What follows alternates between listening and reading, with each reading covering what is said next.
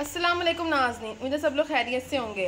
Viewers अगर अभी तक आप लोगों ने हमारे चैनल को क्यूबिज नाम को सब्सक्राइब नहीं किया, या आप लोगों ने फ़र्स्ट टाइम हमारे चैनल को विज़िट किया है तो आप लोग हमारे चैनल के साथ जुड़ जाएँ, क्योंकि यहाँ पर आपको बहुत ही मज़ेदार सी जोन सी हैं कुकिंग कुकिंग रेसिपीज़ जोन सी हैं, वो मिलती रहेंगी।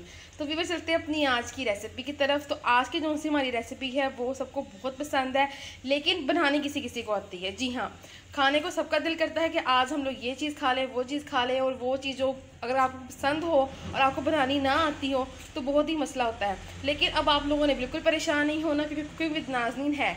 और कुकिंग विद नाजनीन पे आप इतनी रेसिपीज़ जो से हैं, वो सीख सकते हैं बिना किसी टेंशन के। तो आज की रेसिपी भी इसी तरह की है कि जो बहुत लोग पसंद करते हैं, लेकिन एक तो ये कि उसको धोना नहीं आता, दूसरा उसको बनाना नहीं आता।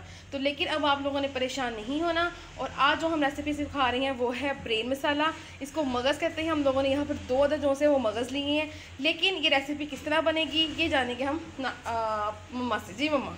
अस्सलाम वालेकुम, क्या हाल चाल है मेरे बहन भाइयों? बिस्मिल्लाहिर्रहमानिर्रहीम। रही ये ना मैंने ना दो बड़े बड़े प्याज काट लिए, थोड़ा सा ना तेल डाल दिया और जिसमें आप पकाते हैं वो तो आप ले सकते हैं अपनी मर्ज़ी से। मैंने तेल ले लिया ठीक है जी, ये मैं आपको बताती हूँ। आधा चम्मच मिर्च का, आधा चम्मच ज़ीरे का, आधा चम्मच हल्दी का, आधा चम्मच नमक का।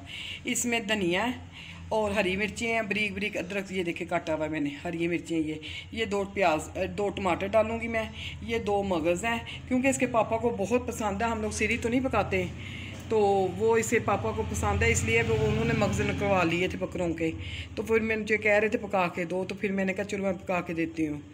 तो मैं आपको बताती हूँ कैसे पकाते हैं। ठीक है तो वही वाली बात के मतलब खाने को दिल सबका करता लेकिन बनाना नहीं आता। तो आज की रेसिपी उन लोगों के लिए जिनको मगज़ पसंद है लेकिन बनाना नहीं आता तो वो उस रेसिपी को बिल्कुल भी मिस ना करें। हाँ जी। पूरी हमारी वीडियो को देखें किसी को स्किप ना करें। हाँ जी मैं आपको बताना भूल गई ये मैंने ना उबाले था गर पानी में डाल के ना अच्छी तरह धो के मैंने उबले रखा थोड़ा सा मैंने लहसन डाला अच्छा। साबत तीन चार पोथियाँ ठीक है?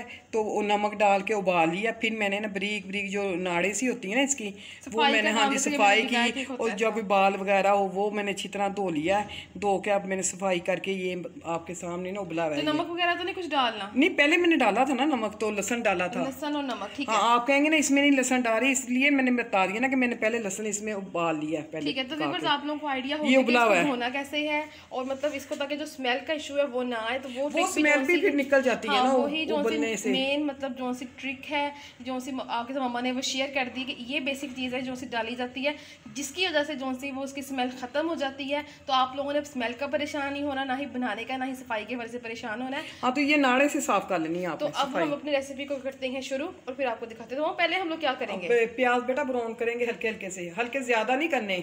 ठीक है। तो फिर टमाटर डालेंगे फिर ये मसाले फिर तो ये डाल स्टेप बाय स्टेप सारे अपने व्यूअर्स को दिखाते हाँ हैं। तो चले हम शुरू करते हैं अपनी रेसिपी को। हाँ जी ये मैं ना टमाटर डाल रही हूँ बरीक बरीक काट के तो बस आप लोग देख सकते हैं कि प्याज हम लोगों ने सिर्फ़ लाइट ब्राउन किए हैं अब इसके बाद मम्मा ने कौन से इसके वो टमाटर शामिल कर दिए हैं और अच्छे से हम लोगों ने इसको मिक्स करना शुरू कर दिया और दो तक हम लोगों ने टमाटर लिए हैं जो हम लोगों ने शामिल करने हैं बारीक बारीक काट के हम लोगों ने इसको डालने के बाद इसके अंदर मम्मा हम लोग क्या शामिल करेंगे मसाले मसाले ठीक है मतलब कौन सा है वो अदरक और कौन सा हरी मिर्च और वो हम लोगों ने दिखाया आपको धनिया वो हम लोग लास्ट पे ऐड करेंगे। अभी बीच में भी डाल देंगे ऊपर से सजावट के लिए भी डाल देंगे। दोनों तरह से इस्तेमाल कर सकते हैं। और ये ना साथ ही में मदद भी डाल देगी इसकी खुशबू बहुत अच्छी आने लग गई है।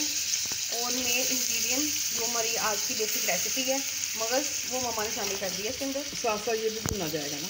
साथ साथ ये भी भुना जाएगा।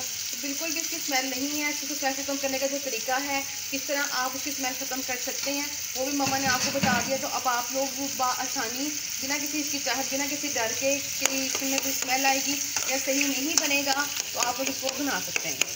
बहुत ही मज़ेदार बनता है माशाल्लाह। हम लोग बनाते हैं हमें बहुत पसंद है और पापा को तो बहुत ही पसंद है हाँ जी पापा को भी बहुत पसंद है। और मेरी ना अम्मी जान उन्हें बहुत पसंद था। मैंने गई ना मैं उधर अपनी अम्मी की तरफ़ तो मुझे कहने लगे मगज़ पड़ा मुझे पका के दे। तो मैंने पका के दिया तो फिर मुझे पूछने लगे कैसे बनाया तूने? मैंने कहा ऐसे ऐसे बनाया। उन्हें इतना पसंद आया। उन्होंने वैसे एक रोटी खाते थे वो माशाल्लाह दो रोटियाँ उन्होंने खा ली। देख लें आप हाँ मतलब मम्मा मतलब मेरी नानी अम्मी जो से मेरी अम्मी जान है वो मम्मा से पूछ रही थी कि कैसे बनाया। हाँ तो आप अंदाज़ा लगा लें कि कितना अच्छा बना होगा कि माँ अपनी बेटी से पूछती कि बेटा तुमने कैसे बनाया। तो आप लोग इसको ज़रूर ट्राई करें। अच्छा ये सारे मसाले?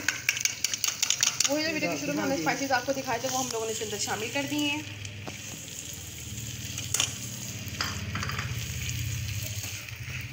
अच्छे से हम लोगों क्योंकि ये है। है ना तो जल्दी बन जाना है इसने।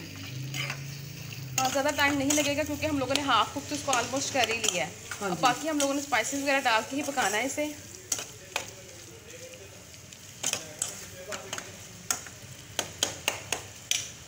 और ये साथ ही ना मैं थोड़ा सा धनिया ये भी साथ ही मैंने डाल दिया। ये ऊपर बेटा डाल देंगे ठीक है? ठीक है मतलब गार्निशिंग के लिए थोड़ा सा हमने हाँ रख लिया है। ये मेरा ठीक है। ये ऊपर। तो बस ये मेरे से बनने वाला ही है ये कुछ ज़्यादा देर तो लगेगी बस नहीं हमने इसको पाँच के मिनट भूनेंगे बेटा इसकी और हाँ, स्मेल हाँ वगैरह। ताकि जो अच्छे से कुक हो हाँ जी, जाइए कुक। आपने घी थोड़ा डाला था थोड़ा सा और डाल लेते थोड़ा सा और डालते हैं हैं।